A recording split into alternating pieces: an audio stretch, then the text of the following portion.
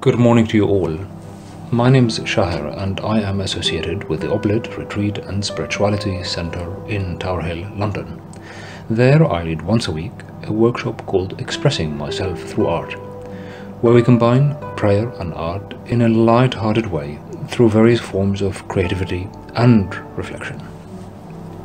For today's reflection, I chose a reading from the Acts of the Apostles 1 12 to 14 then the apostles returned to Jerusalem from the hill called the Mount of Olives, a Sabbath day's walk from the city.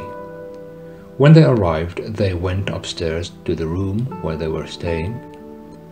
They all joined together, constantly in prayer, along with the woman and Mary, the mother of Jesus, and with his brothers. Mary's presence among those dedicated to prayer in the upper room was my motive for choosing such reading. During this current time of uncertainties and obscurity, we become disconnected from the outside world. Our hearts become heavy, and perhaps our spirits demotivated. Art is like prayer, an expression of longing and one way of listening to God. Art can also be means to overcome those dark moments in life. Obviously, we don't have to be master artists to do this. In fact, what we need is the trust and courage to express ourselves in a fun and non-judgmental way. My genre of painting usually varies, but I must admit that this is my first attempt in painting a portrait, and not any as such. At the start, it felt daunting to capture the Mother of Christ in simple terms. But somehow there was a call to trust the spirit within and forge my way ahead. It also seemed as if the encouraging and empowering presence of Mary amid the apostles has touched me deeply. Surely she is represented in icons and the like, but my vision was different. I wanted to show her as she stood in the upper room, simple, silent, steadfast, and at the heart of the Paschal mystery. By contemplating the memory of Mary, we become courageous, prayerful, and faithful as we continue our Lenten journey. Mary's presence gave inspiration and hope to the apostles, and so does she to us during our darkest moments.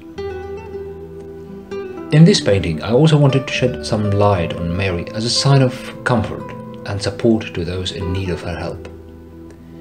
As you can see, her longing face is aware of sorrow, and yet we take away that sense of serenity, tenderness, and sensitivity. This is a scene captured in darkness.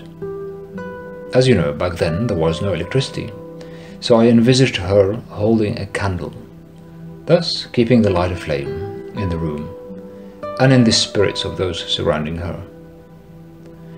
I hope this image will enkindle that light in your heart and encourage you to use art as a way of contemplation and prayer, regardless of the theme or simply how good you can draw or paint.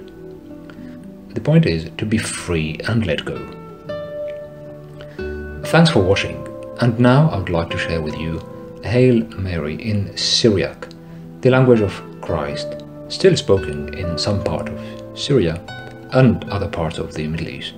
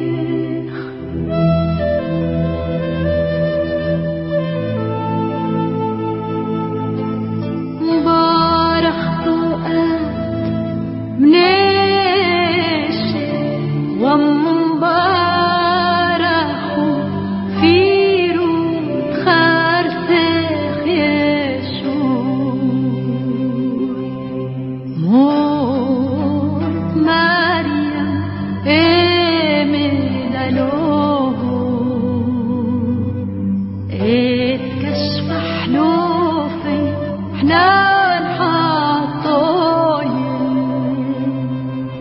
هو شو